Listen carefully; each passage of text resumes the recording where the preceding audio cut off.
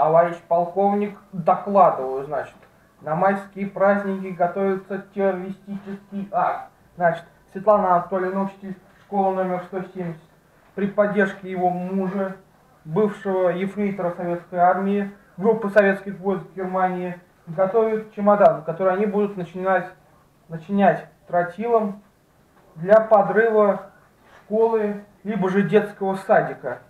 Доклад окончен. Thank you.